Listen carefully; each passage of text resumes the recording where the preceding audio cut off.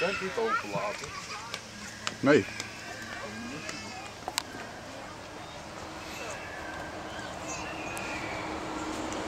Dat is vast niet.